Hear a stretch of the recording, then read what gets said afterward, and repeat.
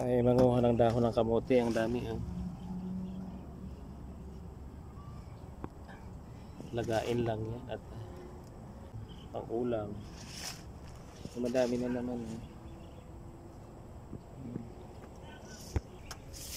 Ito na yung mga nakuha nating dahon ng kamote. Eh. Ang ganda. Tayo bababa na at dilim-dilim na.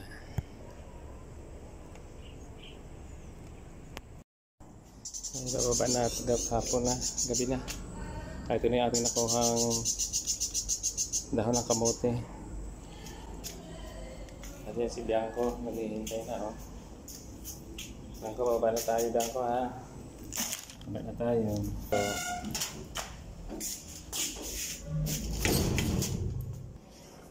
eh, baba na tayo.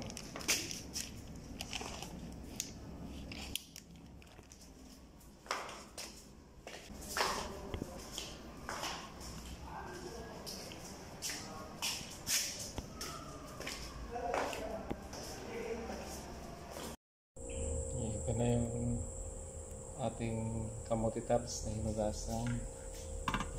Ayan muna natin.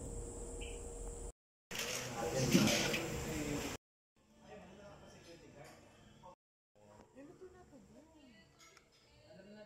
Ito na po.